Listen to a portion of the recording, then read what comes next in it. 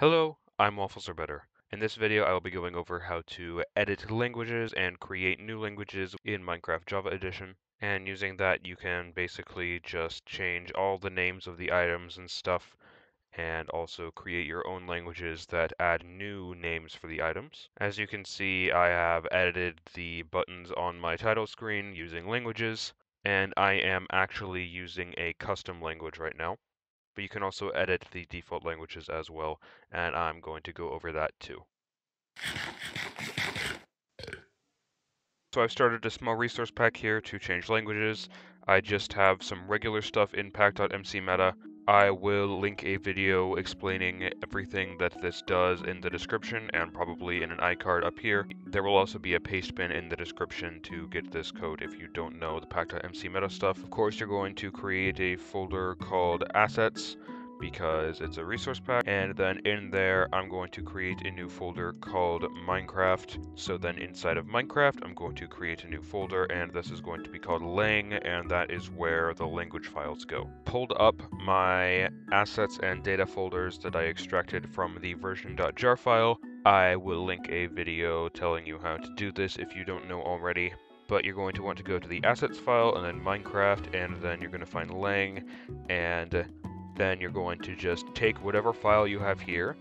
So for me, that's en underscore us.json because I play the United States English language, but you can do this with any language. Um, but anyways, you're going to take this language and you're just going to copy it into this language folder. So no matter what language you're using, it's going to say language.name up here and then language.region, and all of that is going to be in English, but everything on the right might be slightly different. For example, uh, it's going to be in whatever language you're using, and then these three up here are going to be the name of your language, the region of your language, and the language code, which is the name of the file. So then what you can go ahead and do is just edit any one of these uh, things on the right. Make sure to keep everything on the left side exactly the same. But for example, if I wanted to change the multiplayer menu button to Waffles SMP. Once I have loaded up that pack, instead of multiplayer here, it says Waffles SMP. So you can actually just change the names of basically anything or any text inside of the game using this lang file. So say I want to make diamonds into waffles. You know what, instead I'm going to name diamond sword to waffle sword. And now if I go into my inventory and search waffle, you're going to see that the diamond sword is now called the waffle sword. So the item itself has not changed, but every diamond sword that you find or craft will be called waffle sword instead. So the nice thing about this file is if I want to just rename the diamond sword, I can just copy item.minecraft.diamond underscore sword uh, and then the name. And then if I want, I can just um, delete everything in the file and only make the file include uh, item.minecraft.diamond underscore sword. And then if I save it, it won't delete everything else in the language file. We'll keep everything the same as normal, but it will just replace this one single entry. For example, I'm going to just create a copy of this file. Uh, I'm going to rename it to de underscore de, which is the German file. It's called de de because it's Deutsch Deutschland just like how the ENUS file is English underscore United States. Um, but in the DEDE file, I'm going to keep it exactly the same, so it should rename the diamond sword to waffle sword and keep everything else in German. So with this new pack, you should see that it is still called waffle sword and everything else is called what it normally would be called in English. But if I go ahead and switch to German, should see that everything is correctly in German except for the diamond sword, which will be called the waffle sword.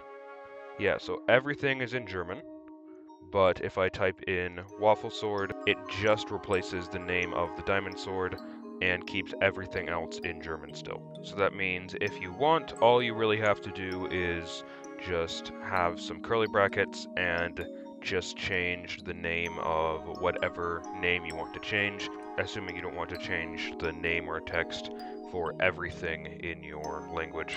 Another good thing that you can do is find things like the Minecraft color codes or format codes. and I'll have a link to this website in the description if you want to change the color or format of a specific thing then you can just copy this code and paste it before it. So I guess I'll try the language button maybe. So that would be, uh, yeah, right here. I'm gonna try making that red.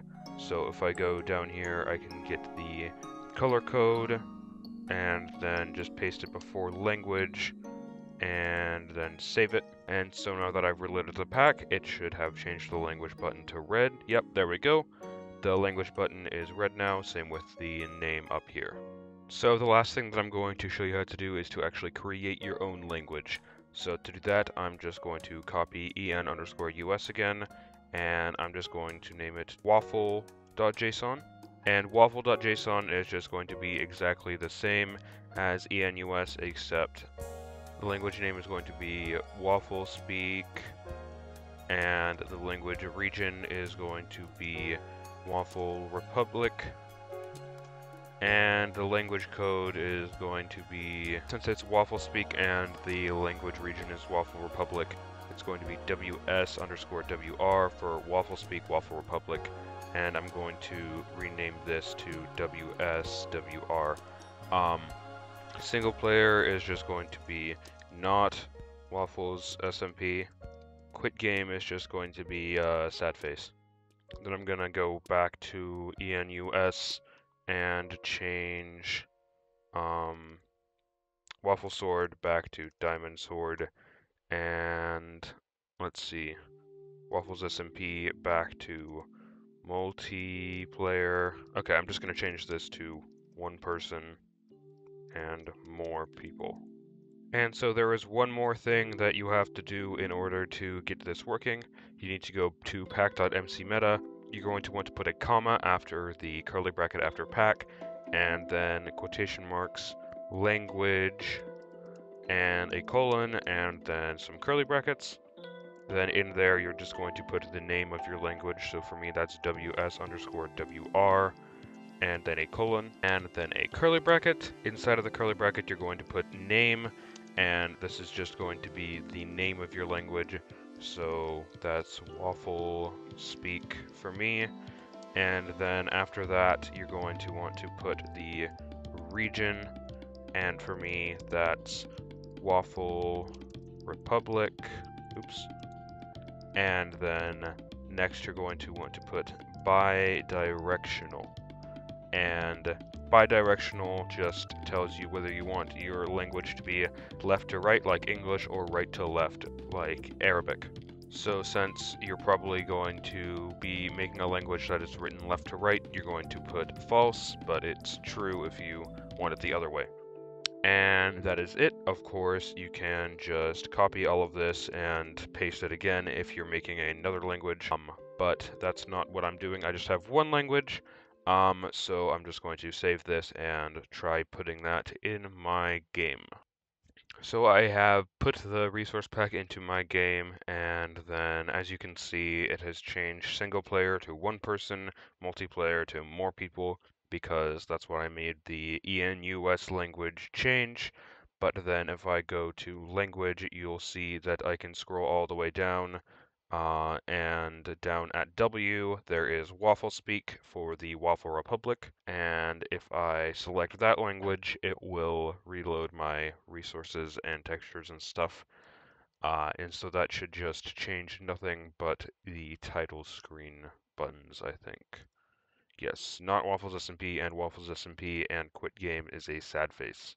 That's it for this video. If you have any questions about anything that I covered in this video, you can ask me those in the comments, or you can also give me suggestions for future videos, and you can also join my Discord in the description and talk to me there as well. Thank you guys so much for 650 subscribers. I really, really appreciate it. And as always, thanks for watching.